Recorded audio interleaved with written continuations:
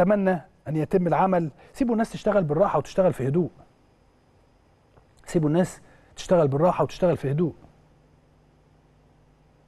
في شخص تاني يلا بالمرة. في شخص تاني دائما ما يحاول أن يصطاد في المية ال- العكره ما ينفعش يتقال عليه غير كده. أتمنى إن مثل هؤلاء الناس أن يختفوا آه، من على الوسط الرياضي. الوسط الرياضي الدنيا هادية.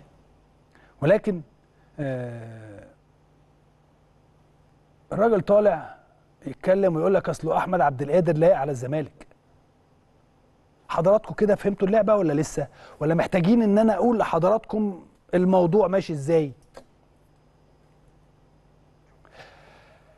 آه، يطلع خبر الصبح يقول أصل عبد القادر عاوز يمشي. وده طبعا خبر كاذب.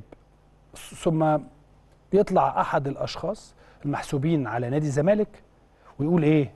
عبد القادر لايق على نادي الزمالك وهكذا. وتبتدي الأمور تشتغل وجمهور الأهلي يشتغل في هذا الاتجاه والأمور الهدف واحد هو تشتيت لعيبة النادي الأهلي. وعمل نوع من أنواع البلبلة. لدى الجماهير ما بين الجماهير وما بين اللاعبين أو ما بين الجماهير وما بين اللاعب. ولكن عشان كده أنا بحبيت إن أنا أرد في هذا الأمر وأتكلم مع حضراتكم في هذا الأمر. وبتكلم أهو بمنتهى الصراحة بقول لكم الكلام اللي بيتقال.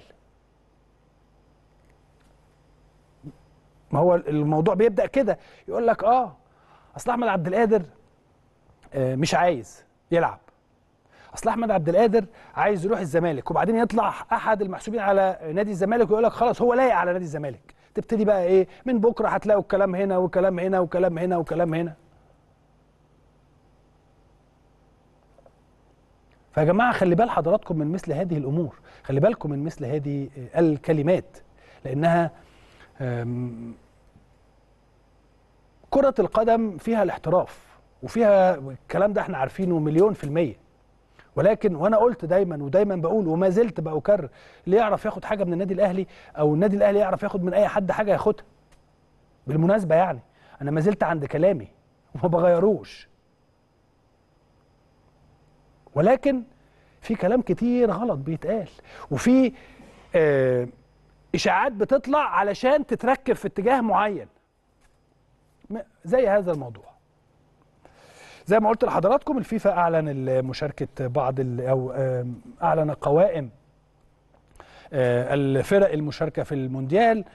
آه، ويعني هتلاقي بقى الأخبار والشائعات زادت خلال هذه الفترة.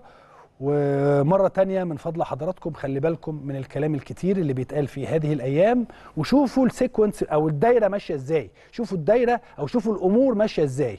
يطلع خبر من هنا يقوم معلقين عليه من هنا يقوم معمول من هنا. تلاقي الموضوع راح في حضن جمهور النادي الأهلي فجمهور النادي الأهلي من حقه طبعا لأنه عارف ناديه وعارف أسلوب آه، آه، وطريقة ناديه إن هم بيحاولوا يحافظوا دائما على كل اللاعبين ولكن في النهاية ما عنديش مشكلة ولكن جمهور النادي الأهلي بيشوف وبيلاقي كلمة من هنا وكلمة من هنا وكلمة من هنا بيقيم الأمور وبيبقى عارف إن اللي بيحصل ده أي كلام أي كلام.